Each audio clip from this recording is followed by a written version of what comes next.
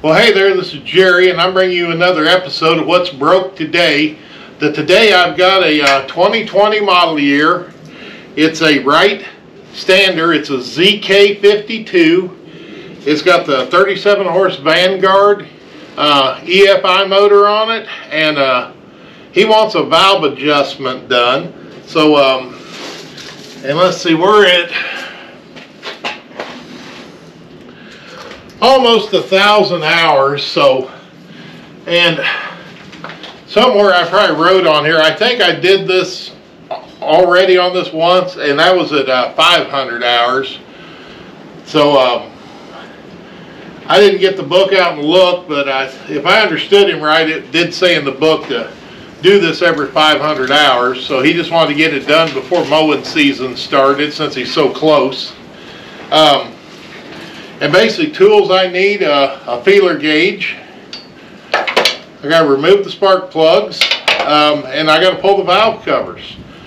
Um, I think I'm to set the camera, I'm to do the time-lapse mode again. I'm to see if I can adjust it and slow it down a little. Because when I was doing it on the trailer, it was actually a little too fast. So I'm to see if I can slow it down and um, I'm to do that while I'm taking the valve covers off. So be back shortly.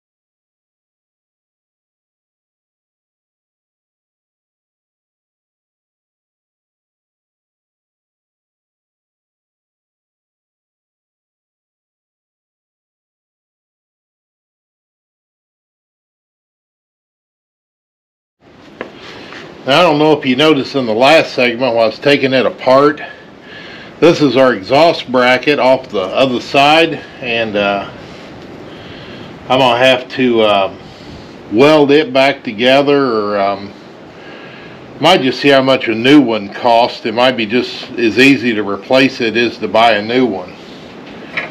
But we'll see. But, okay, so um, when I was taking this apart, naturally I uh, I put rags underneath this to catch the oil because you know the more I catch the less mess I make the less I got to clean up. And here we go. I think I heard another car. Let's see if they make it this far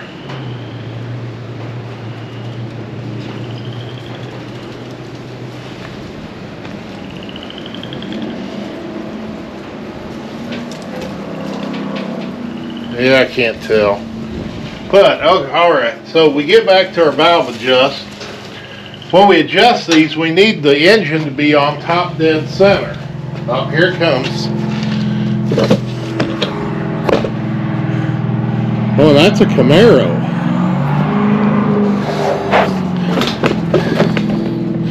I have never seen that one before. But to get on top dead center, I'm just going to watch our valves. Of course, our top one is the intake, the bottom one's the exhaust. So I was going to roll the motor by hand, and there's the intake opening, closing, and we should come up on compression. Then we'll open our exhaust, open our intake.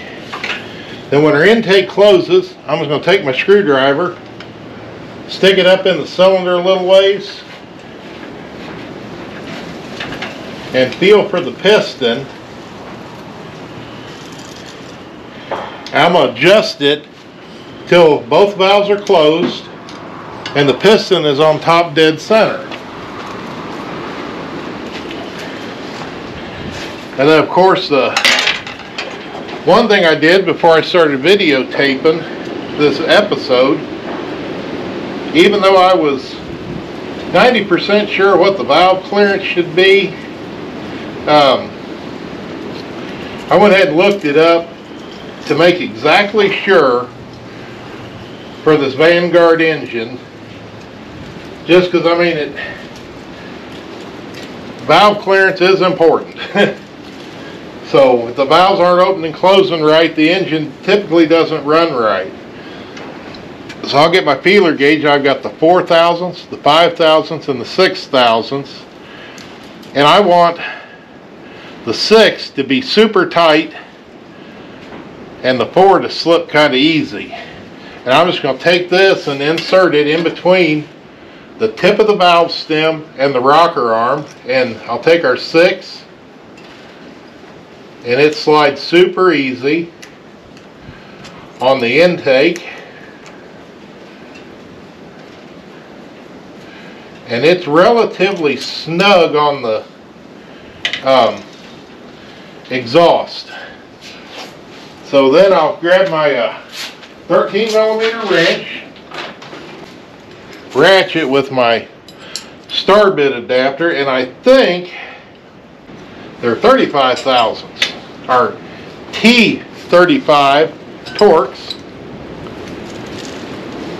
And we got a lock nut and the adjusting screw we're going to put our Torx in.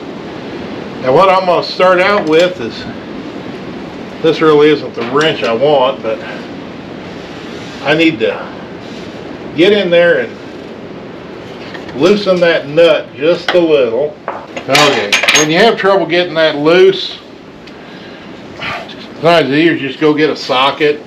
Um, one thing I really like is you got the wrench that kind of is uh, S-shaped where, you know, the head's offset but I don't know where that's at, so we'll just loosen that like that. And then since I'm adjusting it, that's where my 5 actually comes in. Now I'm going to put the 5 down in there and just, I mean, when we're talking about adjusting this, I mean,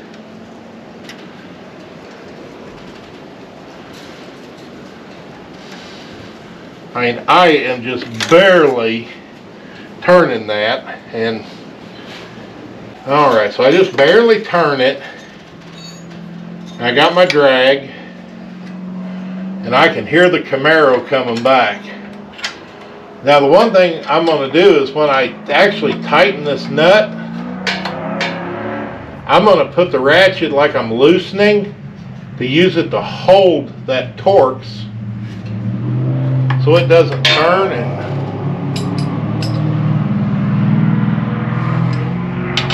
come on get on it. Because see like there I got my five. You put it in there and it's got quite a bit of drag. And I'll take my six. And I can't hardly get it in there so we're going to call that good and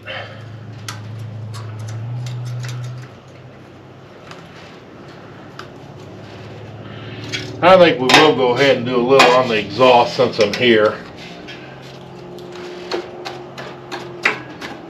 Okay.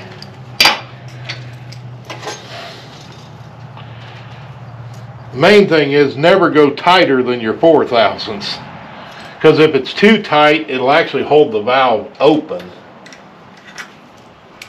And we do not want that.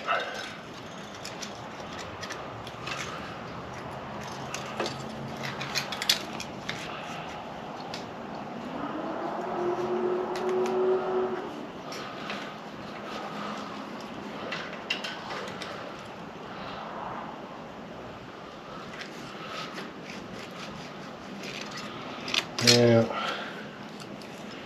That is super close. Ashes, it look, yeah. I don't think I got it, I accomplished anything on that one, so let's loosen that back up. And watch for cat hair in your valves after you get done, because as you can see, my assistant got right in the way. Alright, let's go back to our five. Take my wrench off.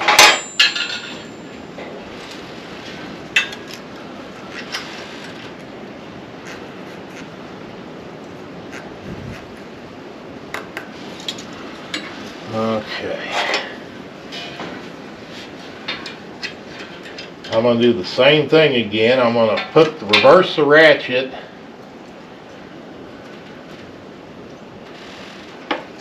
Try and keep that from turning and so far so good.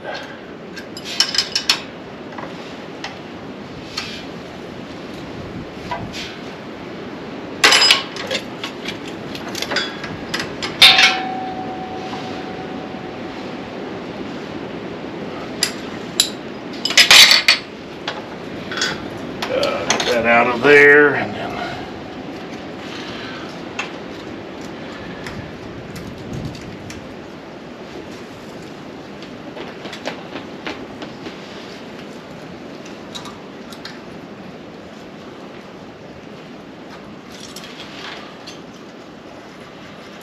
And that's perfect. And of course, last thing, and I get my paint pen. Don't have to do the watch the piston, and I'm gonna turn this two revolutions. There's one.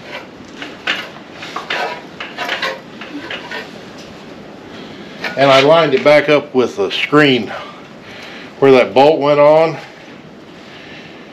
And then there's our six.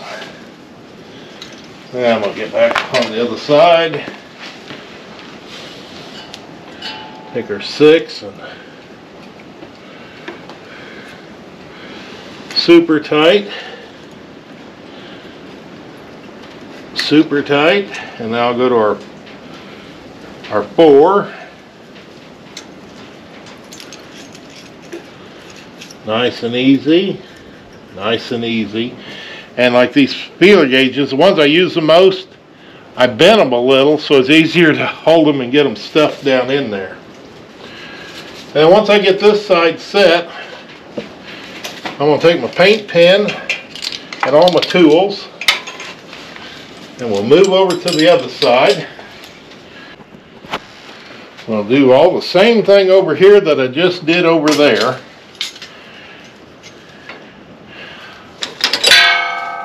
I'm gonna turn this, and luckily right now the exhaust is wide open. It's gonna close, then the intake's gonna open. And once it closes,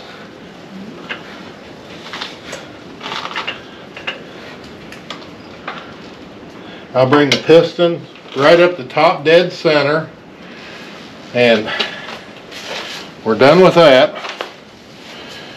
Then we'll take our feeler gauge again and we'll come here and let's see, there's our six. That's got quite a bit of gap and so does that.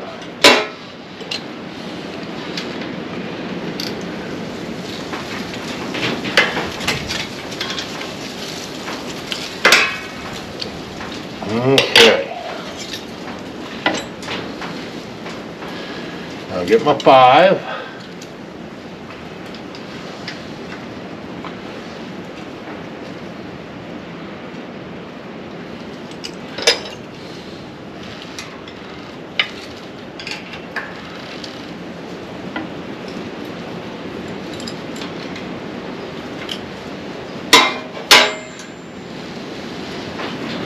And we never want that nut completely loose.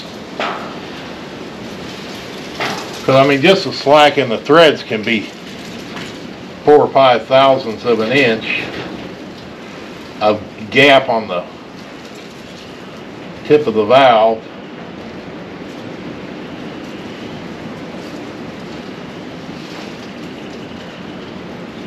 Okay.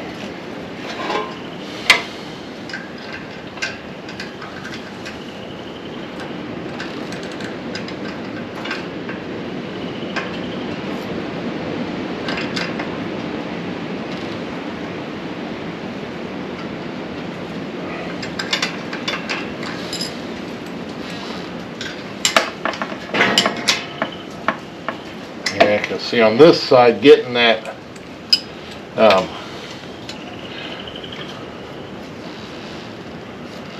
this wrench in here is kind of tight.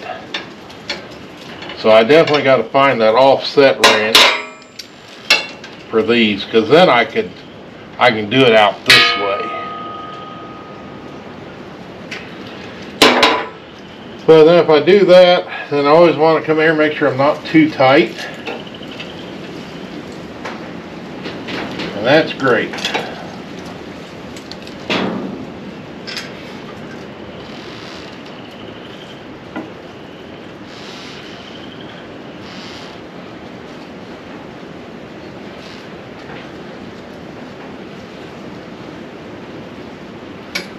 Okay.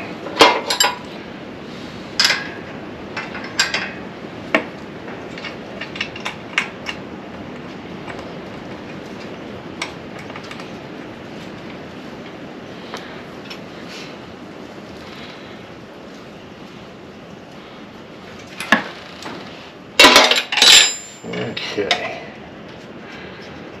Our five. Our six is super, yeah, super tight. Okay, and then I can made my red mark up here. Now it's kind of almost pointing at this gap in between the plastic, so I'll just come here and go one,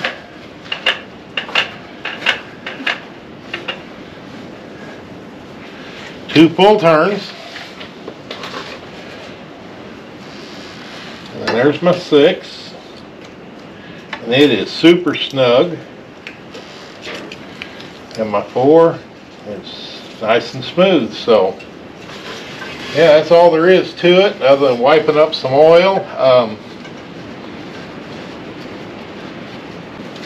I think I'm gonna do some cleaning and get ready to put, um, the valve covers back on, that I can completely put that side together. And uh, I'm gonna look up this exhaust bracket on this side just to see, and then um, I'll do the uh, time lapse again when I go to bolting stuff on. Okay, so to get our bracket repaired, what I've done is got a piece of angle iron, clamped it in the vise. Then I'm gonna do one at a time, but you know I can't weld on top and then grind it off and uh, have a weld left. So what I'm gonna do is where it's cracked at, I'm gonna take my uh, cutoff wheel and just basically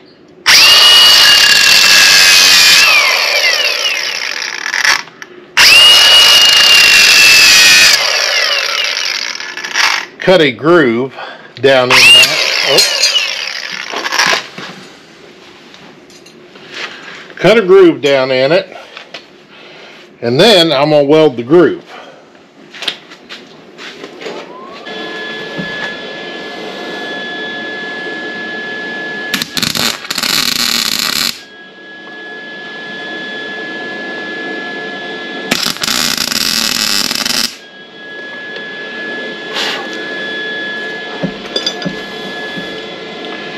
Then I can unclamp it. And when I get it basically all the, not 100% back together, but close. And then I'll take and flip it over here.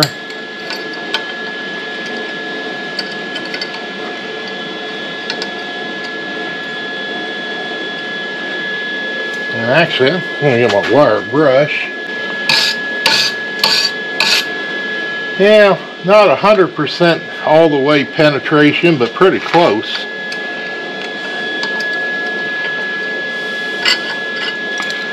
Hmm.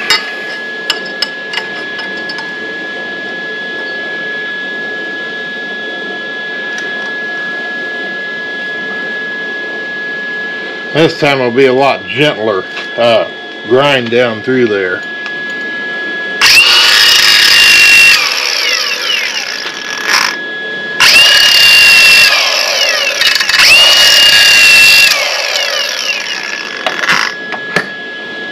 And then we'll just go do the same thing. And then all I gotta do is just smooth it up. And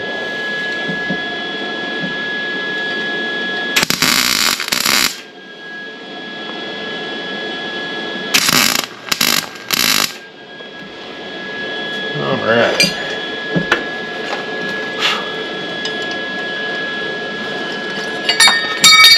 And don't touch the hot metal. Yeah, I can take that and grind it down and should be good to go. And then I'll just take this and come over here and clamp it down. And it's just like a puzzle, so all I gotta do is just line up the pieces.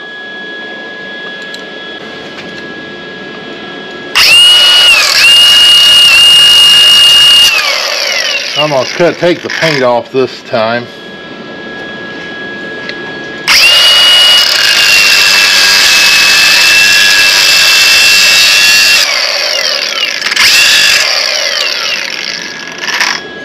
Because some of the spattering I got last time was because of the paint.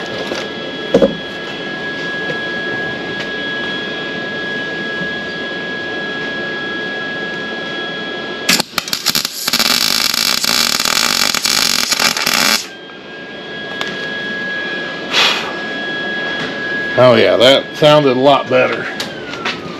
Least, and I clamp this down the way I do because that way it doesn't, um, it keeps it straight after a weld. yes, we take that off.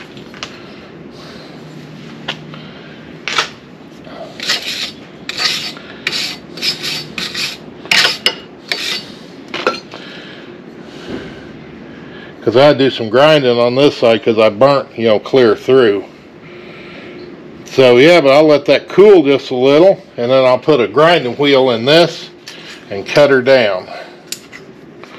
All right, getting ready to go back together and I um, got new gaskets and um, I'm gonna try to put some thread lock on the bolts because you know when I was cleaning up the rocker covers you know they had been leaking a little and the bolts weren't super tight.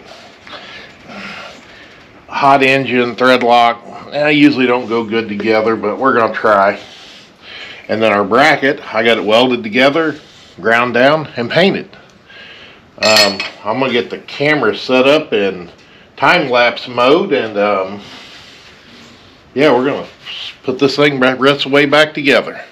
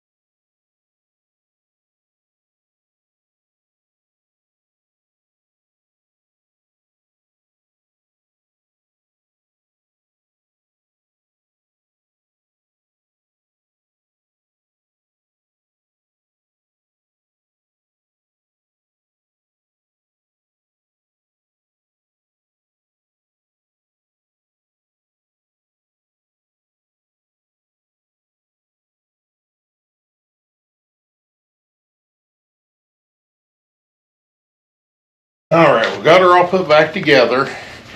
Another thing I do, like, I hope you notice was, I put this together, I snug this where it's got the, know, the metal up against the metal. I tighten these before I completely tighten this one, just so, because I got to film that, maybe why that bracket was broke, because it's under extra stress. And I did go ahead and put a new set of spark plugs in it. Ash, you're not going to like this. Ash.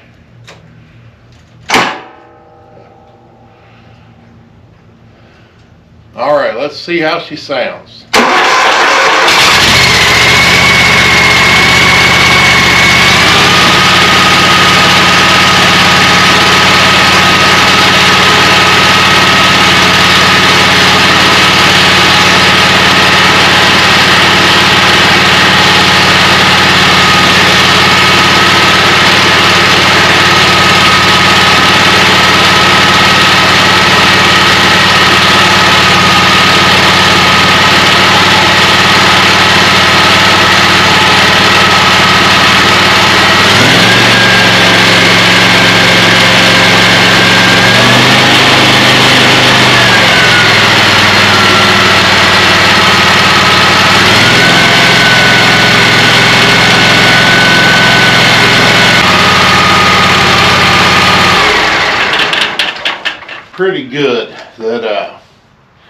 Yeah, a lot of what I was doing here is letting it run because I get oil on the exhaust. So warm it up so it burns off now instead of while he's out uh, uh, using it. But yeah, that all looks really good.